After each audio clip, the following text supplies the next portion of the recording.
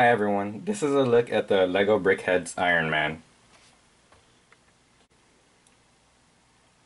As you can see it's a pretty neat looking figure. I think this is one of the easier to build LEGO Brickheadz.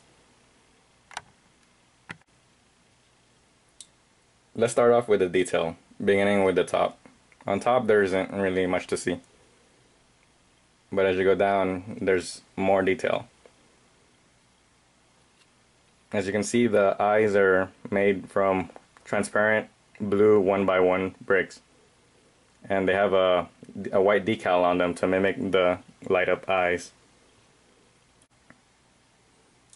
As you go down to his torso, you have a little more detail using the same uh, decal technique on flat plates.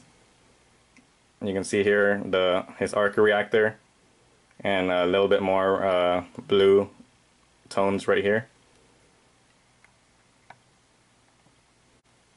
The legs are usual brickhead style. Looking at the back there's a few more flat plates.